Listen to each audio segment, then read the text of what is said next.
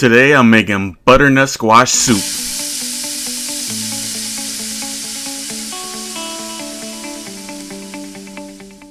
Alright, welcome back. Today we got some butternut squash soup.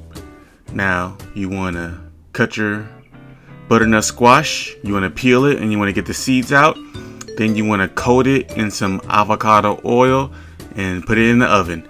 After that, we're going to get the other ingredients ready.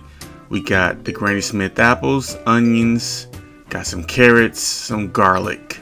Now, Granny Smith apple is a very underrated ingredient. Don't leave it out.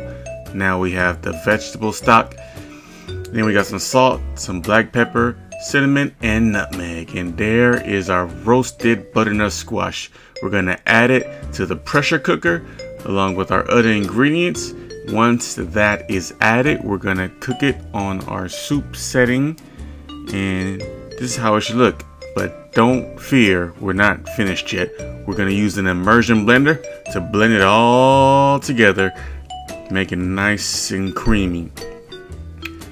Now, if you don't have an immersion blender, you can use a regular blender. Just uh, spoon it in, wait till it's cool, and then blend it.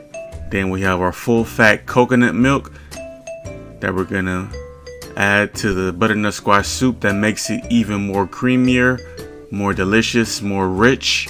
And then we're just gonna add it to the bowl, add some pumpkin seeds to it, and then we're good, we're gonna enjoy that. Perfect for the fall weather. Don't forget to like and subscribe. Thank you very much. Have a great day.